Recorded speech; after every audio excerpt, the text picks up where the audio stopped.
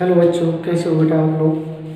हमने last lecture में आपको प्रीफिक्सेस के बारे में कवर कर लिया था कि टेन की पावर माइनस ट्वेंटी फोर से टेन की पावर प्लस ट्वेंटी फोर तक किस तरीके से हम प्रीफिक्सेस यूज़ करते हैं, जब भी कोई रिज़ल्ट हमको न्यूमेरिकल वैल्यू और उसकी यूनिट के रूप में, यानी कि एन इंटू यू के रूप में हम शो करते हैं। आज हम जो बात करने जा रहे हैं वो है measurement of mass and weight तो measurement of mass and weight की बात जब हम करते हैं बेटा तो हमें सबसे पहले हमें क्या पता होना चाहिए कि मास और वेट में मास और वेट में डिफरेंस क्या होता है? पहला क्वेश्चन तो यही होता है कि भाई मास और वेट में डिफरेंस क्या होता है? मेज़रमेंट की बात बाद में करेंगे। तो मास एक्चुअल में क्या होता है? यदि हम इनके डिफरेंस की बात करें तो मास क्या होता है? मास को हम किस तरीके से डिफाइन करते हैं? कि amount of matter present in a body या quantity of matter present in a body is known as mass तो इसको हम कैसे डिफाइन करेंगे? Quantity of matter quantity of matter present in a body present in a body. Is known as mass. वही weight को हम किस तरह से डिफाइन कर देंगे? The force exerted on a body by gravity gravity के कारण जो फोर्स एक्सर्टेड होता है किसी भी बॉडी पर, वो उसका क्या कहलाता है? वेट कहलाता है। तो इसको हम डिफाइन कर सकते हैं। Force exerted on a body, on a body by gravity gravity gravity के कारण ठीक है? दूसरी हम क्या बात कर सकते हैं? कि मास को रिप्रेजेंट करते हैं एम से। वही वेट को रिप्रेजेंट करते हैं बेटा डब्ल्यू से। वेट या फिर इसको फोर्स कह सकते हो और वो होता है M into G mass into gravity acceleration को हम क्या कहते हैं? फोर्स या वेट कहते हैं। तीसरा पॉइंट ऑफ़ डिफरेंस हम क्या कह सकते हैं कि इसकी एसआई यूनिट जो होती है एसआई यूनिट जो होती है, वो क्या होती है? किलोग्राम होती है। जबकि इसकी जो एसआई यूनिट होती है एसआई यूनिट जो होती है, वो क्या होती है? न्यूटन होती है। या हम कह सकते हैं kilogram metre per second square होती है। Kilogram metre per second square होती है। फोर्थ हम क्या कह सकते हैं इसमें डिफरेंस में? कि मास एक स्केलर क्वांटिटी है। Mass is a scalar quantity मतलब इसका मैग्नीट्यूड तो होता है बट इसकी डायरेक्शन नहीं होती है। वही वेट क्योंकि एक फोर्स है और फोर्स की डायरेक्शन फिक्स होती है मतलब एक वेक्टर क्वांटिटी है। तो ये कैसी क्वांटिटी है? वेक्टर क्वांटिटी है। वेट एक वेक्टर क्वांटिटी है। मास एक स्केलर क्वांटिटी होती है। और क्या कह सकते हैं हम यहाँ पर? और इसको हम किस तरीके से रिप्रेजेंट कर सकते हैं? इसको हम कह सकते हैं कि मास को मेजर करने के लिए एनालिटिकल बैलेंस या फ़िज़िकल बैलेंस यूज़ होता है। कौन सा बैलेंस एनालिटिकल और फ़िज़िकल बैलेंस यूज़ होता है। फ़िज़िकल बैलेंस यूज़ होता है। ठीक है ना? यानी कि लेबोरेटरी में जो बैलेंस हम यूज़ करते हैं, वो वो होता है जो आपने देखा होगा, किसी सोनार के यहाँ गोल्ड स्मिथ के यहाँ जाते हो तो वो सोना या चांदी जो तोलता है तो उसमें क्या होता है कि एक क्या होता है बैलेंस यूज़ करते हैं इस कांच के अंदर, इस तरह का। ठीक है ना? इस तरह का एक बैलेंस यूज़ होता है। इस तरह का बैलेंस यूज़ होता है, जो ग्लास के अंदर होता है। क्लियर और वहाँ पर इस तरह का पूरा पॉइंटर वगैरह होते हैं, ये पूरा एक शोकेस ग्लास में बंद होता है। क्लियर तो इस तरीके से यहाँ पर क्या करते हैं कि इसका एक पल्ला लगा रहता है, यहाँ लगा रहता है, और इसको उठाने के लिए ये क्या होता है, बीच में एक नाव होता है, जिसके हेल्प से ये ऊपर नीचे हो जाते हैं। तो यहाँ पर क्या होता है कि जी तो दोनों पर अप्लाई हो रहा है। जी तो दोनों पर अप्लाई हो रहा है डाउनवर्ड तो यहाँ पर कोई भी आर्टिकल आप रखते हो और यहाँ पर वो वेट रखते हो, यहाँ पर वेट रखते हो, बांट रखते हो तो वो क्या होता है, जी तो कैंसिल आउट कर देता है मास को मेजर कर लेता है। तो एनालिटिकल या फ़िज़िकल बैलेंस किसको मेजर करता है यहाँ पर? मास को मेजर करता है। वही स्प्रिंग बैलेंस होते हैं स्प्रिंग बैलेंस स्प्रिंग बैलेंस होते हैं, वो वेट को मेजर करते हैं। जैसे आप कभी किसी रेलवे प्लेटफॉर्म पर गए हों और वहाँ पर आपने एक रुपये का सिक्का डाल के और अपना वेट मेज़र किया गया तो सपोज़ आप 70 किलोग्राम वेट लिखा रहता है तो किलोग्राम तो मास की यूनिट हो गई, पर डब्ल्यू टी जो लिखा रहता है वो जी को रिप्रेजेंट करता है। और हमें पता है, हम ग्रेविटेशन के अंदर पढ़ते हैं कि जी की वैल्यू जो होता है, वो जगह चेंज होने पर चेंज हो जाती है। इवन अर्थ पर प्लेस चेंज होने पर चेंज हो जाती है। इक्वेटर पर या फिर आपके पोल्स पर कहीं चले जाओ। या फिर एक प्लेनेट से दूसरे प्लेनेट पर, ठीक है ना, चले जाओ तो भी हो जाती है। या हम एक जनरल एग्जांपल देख सकते हैं। हम ये कहते हैं कि अर्थ पर जी की value 9.8 metre per second square होती है। वही मून पर यदि हम चले जाते हैं, ठीक है ना तो वही वैल्यू कितनी रहती है? जी वाई सिक्स हो जाती है। तो इसका मतलब जी की वैल्यू चेंज हो सकती है। But mass never be changed mass neither be created nor be destroyed हम आगे पढ़ेंगे भी लॉस के अंदर। ठीक है कंजर्वेशन ऑफ़ मास का कॉन्सेप्ट केमिस्ट्री में हमेशा अप्लाई होता है बेटा। क्या कहलाता है कि mass neither be created nor be destroyed clear तो इसका मतलब ये हुआ कि मास एक कांस्टेंट क्वांटिटी है। मास जो है, वो एक कांस्टेंट क्वांटिटी है। वही वेट कांस्टेंट क्वांटिटी नहीं है। क्योंकि वेट डिपेंड ऑन जी तो जी चेंज जी चेंज तो वेट चेंज हिट भी क्या होगा? चेंज हो जाएगा। जैसे हम कहते हैं मून पर जी जी अर्थ का जी वाई सिक्स हो जाता है। तो जो वेट यहाँ पर अर्थ पर होगा, उसका वन सिक्स पार्ट का हो जाता है? मून पर हो जाता है। तो ये कुछ डिफरेंसेस हैं मास वर्सेस वेट के, जो आपको ध्यान रखने चाहिए। केमिस्ट्री में मास का मतलब वेट ही लेते हैं। क्यों लेते हैं? क्योंकि एनालिटिकल बैलेंस हम यूज़ करते हैं। और एनालिटिकल बैलेंस पर जी का फैक्टर क्या हो जाता है? कैंसिल आउट हो जाता है। तो जो हम एक पढ़ले में, दूसरे वाले पढ़ले में हम कोई चीज़ रखते हैं वेट रखते हैं five gram two gram ten gram वो उस आर्टिकल का मास ही रिप्रेजेंट करता है। या आप यूँ कह सकते हो कि यूनिट के बेसिस पर आप चेक कर लिया करो कि यूनिट यदि किलोग्राम या ग्राम दे रखी है, भले ही वो टर्म वेट दे रखी है तो इसका मतलब केमिस्ट्री के अकॉर्डिंग मास को वेट के रूप में हम कंसिडर करेंगे।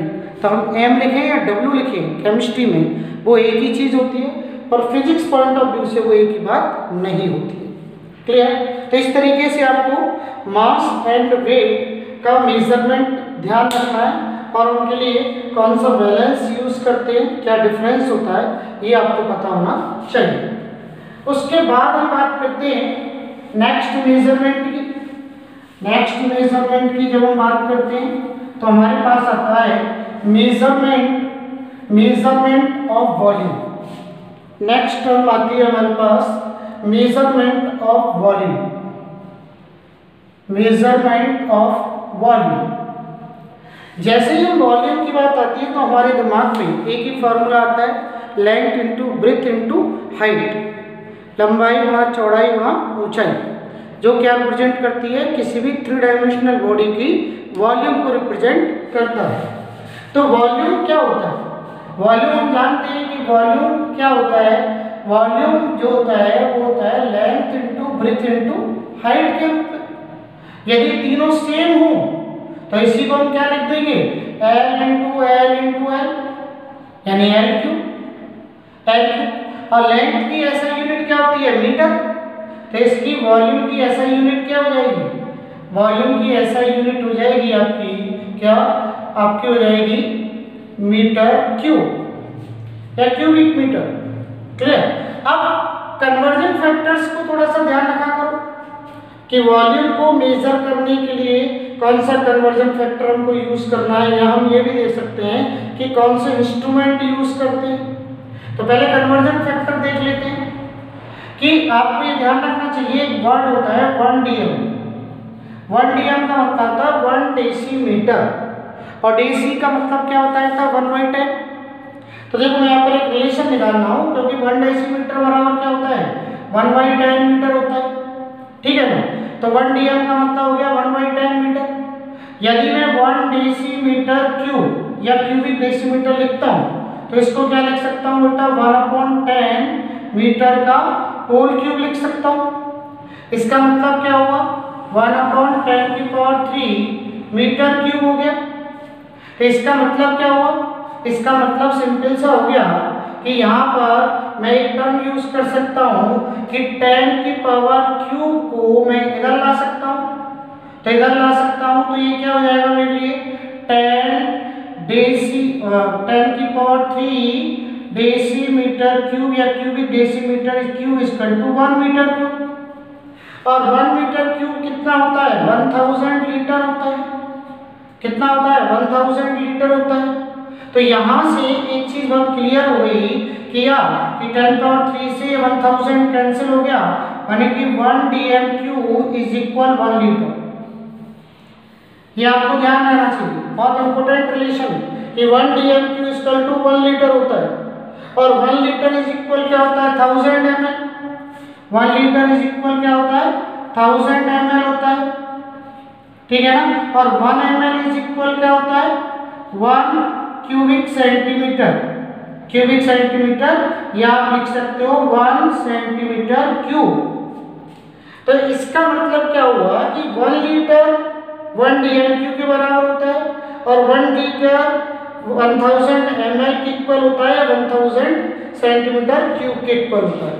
तो ये बहुत इंपॉर्टेंट रिलेशन है क्या कि वन डी एम क्यू कहीं पे भी लिखा हो. तो इसका मतलब वन लीटर मतलब टेन की पावर थ्री मिलीलीटर मतलब टेन की पावर थ्री क्यूबिक सेंटीमीटर बहुत ही इंपॉर्टेंट रिलेशन है ये। बहुत ज़्यादा काम में आता है केमिकल कैलकुलेशन में। तो ये रिलेशन आपको क्लियर होना चाहिए। ठीक है ना? डायरिवेशन के साथ ये आपको पता होना चाहिए कि हम इसको किस तरीके से निकालते हैं। तो वॉल्यूम को इस तरह से आपको ध्यान में रखना चाहिए। इसके अलावा यदि हम बात करते हैं यहाँ पर, इसके अलावा यदि हम यहाँ पर बात करते हैं तो क्या कर सकते हैं कि वॉल्यूम को मेजर करने के लिए वॉल्यूम को मेजर करने के लिए कौन कौन से इंस्ट्रूमेंट हम लेबोरेटरी में यूज़ करते हैं? उनके बारे में भी थोड़ा आपको आइडिया होना चाहिए प्रैक्टिकल पॉइंट ऑफ़ व्यू से। क्या होना चाहिए कि वहाँ पर कुछ इंस्ट्रूमेंट इंस्ट्रूमेंट के नाम आपको पता होना चाहिए। जैसे कि वहाँ पर एक ब्यूरेट होता है। ब्यूरेट होता है। तो ब्यूरेट आपको पता होना चाहिए। ब्यूरेट इस तरह का जो है, एक इंस्ट्रूमेंट होता है ब्यूरेट। टाइट्रेशन के लिए यूज़ करते हैं। ठीक है? तो इस तरीके का एक इंस्ट्रूमेंट होता है। उसका आपको आइडिया होना चाहिए। ठीक है ना? यहाँ पर इस तरह से क्लिप लगी होती है। इस तरह से यहाँ पर ये इसका ओपनिंग होती है और यहाँ पर ये स्टैंड पर लगा रहता है। एक स्टैंड पर यहाँ पर ये कसा रहता है इस तरह ठीक है ना? एक स्टैंड पर यहाँ पर ये कसा रहता है तो ये ब्यूरेट होता है। ठीक है? तो ब्यूरेट यूज़ करते हैं। सब ये ग्रेजुएटेड होते हैं। ग्रेजुएटेड का मतलब इसमें नंबरिंग होती है। ये अपनी कैपेसिटी के अनुसार कितने से कितने हो सकते हैं? ज़ीरो टू फिफ्टी एमएल हो सकते हैं। Fifty M L, zero M से फिफ्टी एम हो सकते हैं। या ट्वेंटी फाइव एम हो सकते हैं, या हंड्रेड एम हो सकते हैं। ठीक है? तो ब्यूरेट यूज़ होता है। एक इंस्ट्रूमेंट होता है यहाँ पर पेपेट पिपेट तो पिपेट भी एक अलग अलग कैपेसिटी की, क्या होती है? छोटी सी जो है ग्लास की बनी हुई इंस्ट्रूमेंट होता है, बहुत ही महीन बहुत ही बारीक जिसे कह सकते हो आप, इस तरीके से पिपेट होता है। क्लियर तो पिपेट होता है, ये सब हम जो है जब एक्सपेरिमेंट करते हैं तो उस हिसाब से। इसके भी अलग अलग कैपेसिटी होती है वन एम का हो सकता है। ठीक है? फाइव एम का हो सकता है टेन एम का हो सकता है। ये सब वॉल्यूम को मेजर करते हैं जब हम लेबोरेटरी में कोई भी प्रिपरेशन या तैयार करते हैं, कोई भी सॉल्यूशन तैयार करते हैं, उसको मेजर करते हैं। क्लियर और क्या होता है? Measuring cylinder measuring cylinder use होता है। ये भी क्या होता है? ग्रेजुएटेड होता है अलग अलग कैपेसिटी का होता है टेन एम कैपेसिटी का हो सकता है। ठीक है ना? 50 एम कैपेसिटी का हो सकता है 100 एम कैपेसिटी का हो सकता है। तो आप ये देखते हैं, इसके साथ साथ एक वॉल्यूमेट्रिक फ्लास्क भी होता है वॉल्यूमेट्रिक फ्लास्क भी होता है, ठीक है? वॉल्यूमेट्रिक फ्लास्क भी होता है। जिसमें एक पर्टिकुलर यहाँ पर क्या होता है? मार्क लगा रहता है। अलग अलग कैपेसिटी का, कोई भी सॉल्यूशन यहाँ तैयार करना होता है, ये अलग अलग कैपेसिटी का होता है हंड्रेड एम का हो सकता है। ठीक है ना? या फिर हो सकता है ट्वेंटी फाइव एम का हो सकता है अलग अलग कैपेसिटी का हो सकता है। तो यहाँ पर ये वॉल्यूमेट्रिक फ्लास्क भी क्या होता है कि किस तरह से यूज़ होता है? ये यूज़ किया जाता है कोई भी नोन कंसेंट्रेशन को प्रिपेयर करने के लिए। तो कहने का मतलब ये है कि ये अलग अलग इंस्ट्रूमेंट हमारे काम में आते हैं वॉल्यूम को मेजर करने के लिए। तो इसकी एसआई यूनिट तो क्यूबिक मीटर होती है। पर जो कॉमन यूनिट होती है, वो वन लीटर होती है। लीटर के रूप में हम मेजर करते हैं। हम जब दूध लेने जाते हैं, तब भी हमें पता है हम क्या कहते हैं, उसको वन लीटर दूध दे दें टू लीटर दूध दे दे, या फिर 500 हंड्रेड एम दूध दे दे, यानी आधा लीटर दूध दे दे। तो लीटर बहुत मोस्ट कॉमन यूनिट है, जो हम जनरली अपने डेली लाइफ में वॉल्यूम के लिए यूज़ करते हैं। क्लियर तो ये भी आपको थोड़ा सा ध्यान रखना चाहिए कि वॉल्यूम का मेज़रमेंट किस तरीके से हम यहाँ पर करते हैं।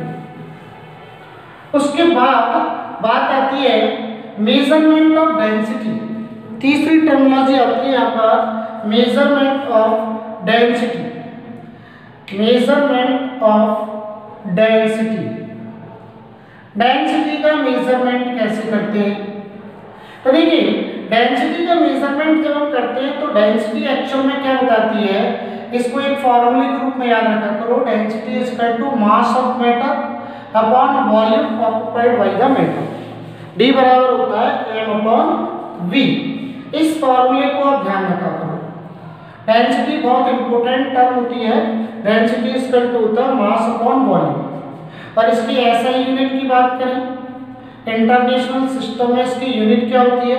तो मास की क्या होती है? किलोग्राम और वॉल्यूम की क्या होती है? मीटर क्यूब तो किलोग्राम पर मीटर क्यूब और सीजीएस सिस्टम की बात करें, यानी कि सेंटीमीटर ग्राम सेकेंड सिस्टम में किलोग्राम की जगह हम क्या लेते हैं? ग्राम और मीटर की जगह हम क्या लेते हैं? Cubic centimetre gram per cubic centimetre one centimetre cube या क्यूबिक सेंटीमीटर को हम वन सी भी लिखते हैं, ध्यान रखें आप। वन सी का मतलब वन सी कहीं लिखा हो तो इसका मतलब वन सी ही होता है। ठीक है ना? तो ये डेंसिटी का मेज़रमेंट करते हैं। तो डेंसिटी क्या बताती है? कि वन यूनिट वॉल्यूम में कितना मास है? वन यूनिट वॉल्यूम में कितना मास है? तो वन यूनिट वॉल्यूम में जितना ज़्यादा मास होगा, यदि इसके मॉलिकुलर लेवल पर जाएँ तो मॉलिक्यूल बहुत ज़्यादा क्लोज होंगे। तो वॉल्यूम वन यूनिट करते हैं तो मास क्या हो जाएगा? मास यदि बढ़ेगा तो पार्टिकल की क्लोजनेस बढ़ेगी तो डेंसिटी बढ़ेगी। तो डेंसिटी बहुत इंपॉर्टेंट टर्म है बेटा। तो डेंसिटी को आप किस तरह से ध्यान रखें कि how much close the particle of that matter whatever the matter उसके पार्टिकल की क्लोजनेस के बेसिस पर ध्यान रखें। क्योंकि आगे जब चैप्टर आप पढ़ोगे और जो ट्रेंड पढ़ोगे पीरियोडिक टेबल के अंदर या फिर आप अलग अलग S block P block D block F block आपके चैप्टर आते हैं। तो वहाँ डेंसिटी का वेरिएशन चेक चेक किया जाता है कि एस वी मूव पीरियड में हम लेफ़्ट टू राइट जाते हैं तो डेंसिटी का ट्रेंड क्या करता है? या डाउन द ग्रुप आते हैं तो डेंसिटी का ट्रेंड किस तरह से चेंज होती है? उसके बाद हम यहाँ पर बात करते हैं। उसके बाद फोर्थ यदि मेज़रमेंट की बात करते हैं यहाँ पर तो फोर्थ मेज़रमेंट के रूप में बेटा यहाँ पर आता है आपका measurement of temperature fourth measurement के रूप में यहाँ बात करें तो टर्म आती है measurement of temperature temperature measurement of temperature measurement of temperature की यदि हम बात करते हैं तो देखिए टेम्परेचर को मेजर करने के लिए क्या होती है? एक स्केल एक आपको थर्मामीटर यूज़ किया जाता है। थर्मामीटर यूज़ करते हैं।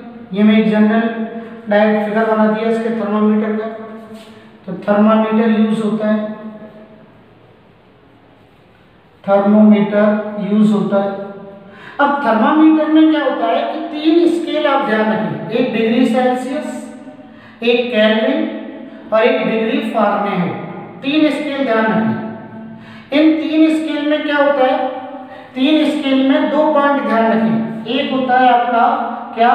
फ्रीजिंग पॉइंट फ्रीजिंग पॉइंट, या इसको हम आइस पॉइंट भी कह सकते हैं, आइस पॉइंट। और एक होता है आपका बॉइलिंग पॉइंट, या इसको हम स्टीम पॉइंट भी कह देते हैं। Steam point. ठीक है ना? तो यहाँ पर डिग्री सेल्सियस स्केल के अंदर क्या होता है? इसकी वैल्यू होती है ज़ीरो तो बॉइलिंग पॉइंट की होती है हंड्रेड डिग्री सेल्सियस। ठीक है ना? वाटर को ध्यान में रखते हुए यदि हम बात करें तो ज़ीरो डिग्री सेल्सियस और हंड्रेड डिग्री सेल्सियस की बात करेंगे। कैलविन में यही वैल्यू क्या होती है? Two seventy three point one five ठीक है ना? जिसे हम जनरली टू सेवेंटी थ्री ले लेते हैं। कैलकुलेशन पॉइंट ऑफ़ व्यू से। क्योंकि एस पर ये वैल्यू 273.15 एस का मतलब स्टैंडर्ड टेम्परेचर एंड प्रेशर तो स्टैंडर्ड टेम्परेचर को हम 273.15 के रूप में ले लेते हैं। ठीक है ना? और न्यूमेरिकल के पॉइंट ऑफ़ व्यू से एन लेते हैं normal temperature 273 zero degree Celsius मतलब 273 केल्विन क्लियर और इसमें हंड्रेड ऐड कर दें तो ये value numerical point of view से यदि मैं देखूँ तो कितनी हो जाती है? 373 केल्विन हो जाती है। यानी कि एक यहाँ पर क्या होता है? एक यहाँ पर फ्रीजिंग पॉइंट होता है और एक यहाँ पर क्या होता है? बॉइलिंग पॉइंट होता है।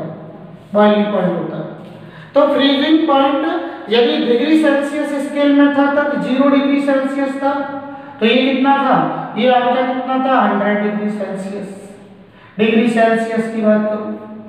क्लियर यदि मैं कैलविन स्केल की बात करूँ केल्विन स्केल की बात करूँ तो ये कितना है न्यूमेरिकल पॉइंट ऑफ़ व्यू से 273 तो ये कितना है 373 और डिग्री फारेनहाइट की बात करूँ तो ये कितना होता है? ये होता है 32 डिग्री फारेनहाइट तो ये होता है 212 डिग्री फारेनहाइट तो ये दोनों वैल्यूज़ आपको ध्यान रखनी है freezing point and boiling point यानी कि ये इधर कहो आप 32 और ये कहो आप, इसको कितना? 212 32 और 212 ज़ीरो के रेस्पेक्ट में कितना है? 32 है। ज़ीरो के रेस्पेक्ट में कितना है? 32 है। 32 और ये कितना हो गया आपका? 212 अब यहाँ पर देखो, इन दोनों का डिफरेंस 100 इन दोनों का डिफरेंस 100 और इन दोनों का डिफरेंस कितना हो रहा है? 180 तो इसका मतलब मैं यहाँ पर रिलेशन क्या निकाल सकता हूँ? कि जब यहाँ पर ज़ीरो डिग्री सेल्सियस है तो इनका जो इंटरवल है, वो कितना है? हंड्रेड हंड्रेड ठीक है? तो ज़ीरो डिग्री सेल्सियस के रेस्पेक्ट में कैलविन निकालते हैं तो कितना आ रहा है? टू सेवेंटी थ्री तो इसका मतलब कैलविन स्केल में यदि कोई वैल्यू दे रखी है तो मैं यहाँ पर क्या लिख सकता हूँ? कैलविन में से टू सेवेंटी थ्री घटा दो तो डिग्री सेल्सियस आ जाएगा। जबकि डिफरेंस यहाँ पर भी कितना हो रहा है? हंड्रेड का हो रहा तो यहाँ पर भी मैं क्या लिख दूँगा? हंड्रेड। वही यदि मैं फार्नियाट के स्केल की बात करूँ तो फार्नियाट स्केल में देखो, जब ये ज़ीरो डिग्री सेल्सियस है तो ये थर्टी टू है। यदि फार्नियाट वैल्यू दे रखी हो तो उसमें से थर्टी टू घटा दो तो क्या आ जाएगा? ज़ीरो आ जाएगा। तो मैं इसको ऐसे भी लिख सकता हूँ एफ़ माइनस थर्टी टू। और इन दोनों का इंटरवल कितना आता है? वन हंड्रेड एट्टी तो यहाँ से सिंप्लीफाई करने पर एक रिलेशन आ जाता है कि zero degree Celsius zero zero degree Celsius zero degree Celsius upon कितना? फाइव ट्वेंटी से काट दो। Zero degree Celsius upon five is equal to होता है के minus two seventy three upon five is equal F minus thirty two या degree Fahrenheit minus thirty two thirty two upon यहाँ पर कितना हो जाएगा? ट्वेंटी से डिवाइड करने पर नाइन आ जाएगा। तो यहाँ से एक रिलेशन आ गया, ये रिलेशन आपको याद रहना चाहिए। Degree Celsius upon five equal to होता है के minus two seventy three upon five is equal degree Fahrenheit minus thirty two upon nine आपको कोई भी वैल्यू उसने दे रखी हो। कोई वैल्यू उसने दे रखी हो, माना वो कहे थर्टी सेवन डिग्री सेल्सियस है तो फार्नियाइट में निकालो। तो इन दोनों इक्वेशन को बराबर कर देना और डिग्री फार्नियाइट निकाल लेंगे। नाइनटी एट पॉइंट सिक्स करीब आएगा आंसर ठीक है ना? या कैलविन दे रखा हो फार्नियाइट पूछा हो या फार्नियाइट दे रखा हो, क्या पूछा हो डिग्री सेल्सियस पूछा हो जो भी पूछा हो उन दो इक्वेशनों को इक्वल करके आप उसका आंसर सॉल्व कर सकते हैं। तो इस तरीके से हम यहाँ पर क्या करते हैं? मेज़रमेंट ऑफ़ टेम्परेचर यूज़ करते हैं। इसके बाद फिफ्थ जो मेज़रमेंट यहाँ पर मैं आपको बताने जा रहा हूँ, वो इसलिए इम्पोर्टेंट है क्योंकि वो कैलकुलेशन में बहुत ज़्यादा जो है इन्वॉल्व रहता है। और वो मैं यहाँ पर स्पेशली बताने जा रहा हूँ आप लोगों को। मेज़रमेंट ऑफ़ प्रेशर ठीक है ना? इसका बेसिकली यूज़ आएगा आपका, आगे का चैप्टर आएगा एक आपका gaseous and liquid state of matter ठीक है ना? फिफ्थ चैप्टर के रूप में आएगा स्टेट ऑफ़ मैटर के रूप में मेज़रमेंट ऑफ़ प्रेशर जहाँ सबसे ज़्यादा बच्चों को दिक्कत होती है, उनकी यूनिट कन्वर्जन को लेते, लेकर। तो यहाँ प्रेस प्रेशर का जब मेज़रमेंट की बात करते हैं बेटा तो यहाँ पर मैं आपको बता देता हूँ कि प्रेशर जो टर्म है प्रेशर होता क्या है? प्रेशर होता है force act on per unit area यही फोर्स अपॉन एरिया को प्रेशर कहते हैं। फोर्स अपॉन एरिया और फोर्स क्या होता है? फोर्स होता है mass into gravity acceleration M into G upon area और मास क्या होता है? मास होता है वॉल्यूम इंटू डेंसिटी क्या होता है volume into density into gravity acceleration upon area और वॉल्यूम क्या होता है? वॉल्यूम होता है सरफेस एरिया इंटू हाइट ठीक है ना? कमरे का वॉल्यूम निकालना है तो लेंथ इंटू ब्रिथ उसका क्या हो गया? फर्श का सरफेस एरिया हो गया। और हाइट उसकी ऊपर की हाइट हो गई। तो इसका मतलब क्या होगा? इसको मैं क्या लिख सकता हूँ? Area into height into density into gravity acceleration upon area area से एरिया कैंसिल हो गया। तो प्रेशर का जो फॉर्मूला हम यूज़ करते हैं, वो क्या करते हैं? एच डी सी जब प्रेशर मेज़रमेंट की बात आती है तो क्या करते हैं हम? एटमॉस्फेरिक प्रेशर की बात करते हैं। एटमॉस्फेरिक प्रेशर कहाँ मेजर किया जाता है? एटमॉस्फेरिक प्रेशर मेजर किया जाता है सी लेवल पर, समुद्र के लेवल पर। ठीक है ना? और उसके लिए क्या होता है कि जो वहाँ पर स्केल लगी हुई है, या थर्मोमीटर लगा हुआ है, उसमें मरकरी फ़ील्ड है, ठीक है ना? और मरकरी की जो डेंसिटी होती है मरकरी की जो डेंसिटी होती है डेंसिटी ऑफ़ मरकरी वो होती है थर्टीन पॉइंट सिक्स ग्राम पर क्यूबिक सेंटीमीटर ग्राम पर क्यूबिक सेंटीमीटर या एमएच भी कह सकते हो आप इसको, ठीक है ना? यदि मैं ग्राम को किलोग्राम में बदल दूँ और सेंटीमीटर क्यूब को मीटर में बदल दूँ तो क्या लिख सकता हूँ? थर्टीन पॉइंट सिक्स एक ग्राम में होते हैं टेन की पावर माइनस थ्री किलोग्राम और एक सेंटीमीटर में कितने मीटर होते हैं? टेन की पावर माइनस टू मीटर तो ये कितना हो जाएगा? टेन की पावर माइनस टू मीटर का होल क्यूब तो इसको यदि मैं सॉल्व करूँगा तो कितना आएगा? Thirteen point six into ten की पावर माइनस थ्री किलोग्राम और ये हो जाएगा टेन की power minus six metre cube, ये ऊपर जाएगा तो कितना हो जाएगा ये? Thirteen point six into ten की power three kilogram per metre cube तो ऐसा ही सिस्टम में डेंसिटी ऑफ़ मरकरी कितनी ले सकता हूँ मैं? Thirteen point six into ten point three kilogram per metre cube और जो हाइट वहाँ पर रहती है मरकरी की कॉलम की, वो होती है कितनी? सेवेंटी सिक्स सेंटीमीटर कितनी होती है? सेवेंटी सिक्स सेंटीमीटर तो देखो उसमें जो हम बात कर रहे हैं एटमोस्फियर प्रेशर के रूप में तो एटमोस्फियर प्रेशर होता है बेटा वन एटीएम कितना होता है? वन एटीएम हाइट मैंने अभी आपको बताई कितनी होती है? 76 सेंटीमीटर तो इसको मीटर में लिखूँगा तो कितना लिखूँगा? 0.76 मीटर ठीक है ना? 0.76 मीटर और यदि मैं इसको मिलीमीटर में लिखता तो कितना लिखता? मिलीमीटर में लिखता तो इसको लिखता 760 मिलीमीटर ऑफ़ एचजी ठीक है ना? मिलीमीटर ऑफ़ मरकरी ऐसे लिखता मैं। और इसी को हम यहाँ पर 760 टॉर भी बोल देते हैं। तो ये अलग अलग यूनिट है जिनमें कि प्रेशर रिप्रेजेंट किया जाता है। 760 एम एम ऑफ़ एचजी लिख सकता है 760 टॉर लिख सकता है ठीक है, लेकिन मैं इसकी कैलकुलेशन कर रहा हूँ, किसमें? ऐसा ही सिस्टम में। तो हाइट किसमें चाहिए मुझे? मीटर में। तो इसको मैं मीटर में ले लेता हूँ कि वन एटी जो एटमोस्फियर प्रेशर होता है, उसका ऐसा ही सिस्टम में क्या कन्वर्जन होगा? तो एच की जगह तो मैं लिख दिया ज़ीरो पॉइंट सेवन सिक्स ठीक है ना? डेंसिटी डेंसिटी कितनी है हमारे पास? 13.6 13.6 इंटू टेन की power three kilogram per cubic metre clear अब यदि मैं यहाँ पर बात करूँ जी की तो इसकी वैल्यू आती है 9.8032 कितनी आती है? 9.8032 ये इसकी वैल्यू होती है किसकी? ग्रेविटी एक्सलेशन की एसआई सिस्टम में, यानी मीटर पर सेकंड स्क्वायर में। जब इन तीनों का मैं मल्टीप्लाई करता हूँ तो ये वैल्यू निकल के आती है 1.01325 इंटू टेन की पावर फाइव और यूनिट क्या आएगी? Newton per metre square force की यूनिट न्यूटन और एरिया की मीटर स्क्वायर और न्यूटन पर मीटर स्क्वायर को पास्कल भी कहते हैं, ध्यान रखना। तो इसको लिख सकता हूँ one point zero one three two five into ten की power five pascal pascal clear और टेन की पावर फाइव पास्कल को वन वार कहते हैं तो इसको लिख सकता हूँ one point zero one three two five bar तो यहाँ पर आपने देखा कि वन एटीएम के कई कन्वर्जन हो गए, और ये सभी कन्वर्जन को यूज़ करता है। कौन कौन से ध्यान रखने हैं आपको? कि one ATM is equal to how many mm of H H तो seven hundred sixty mm of H H होता है। और क्या होता है? सेवन हंड्रेड सिक्सटी टॉर होता है। दूसरा ध्यान रखना है। तीसरा क्या ध्यान रखना है?